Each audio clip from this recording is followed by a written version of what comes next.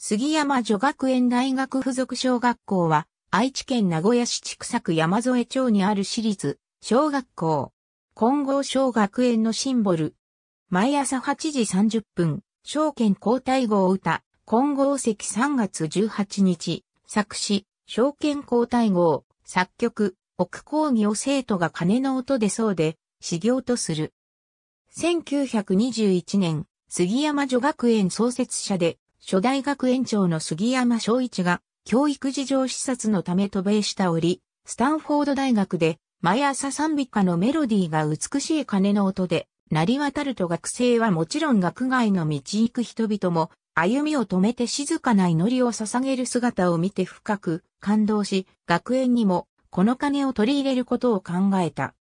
帰国後、英国ロンドンのジレット社へ金の制作を依頼し、1930年、角大山にあった当時、白亜の伝道王と称された杉山台に、高等女学校の校舎屋上の島内に設置された。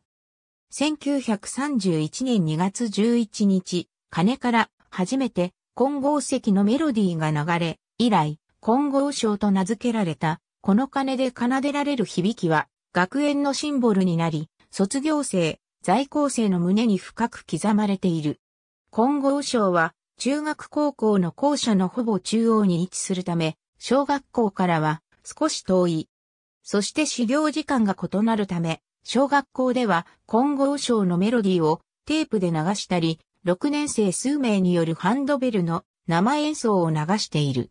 2008年4月5日の始業式、オーストリアウィーンフィルハーモニー管弦楽団の演奏会が開かれた。クラリネットやフルートなど世界トップ奏者5人による還元50奏の8曲を披露した。トヨタ自動車が全国5都市、東京や名古屋などでのコンサート開催と杉山女学園大学附属小学校への訪問を企画した。1983年から3学期の始業式は新年の意欲を高めようと温水プールで初泳ぎするのが伝統行事となっている。1906年学園創立の翌年に作られた和風会が同窓会の始まりであり、卒業生と在校生が恩師を交えて和合親睦を目的とした。現在は学園同窓会、意図、岐区会を頂点都市大学、中高、またそれぞれの学校や学部の同窓会のほか、全国各地に支部会が結成されている。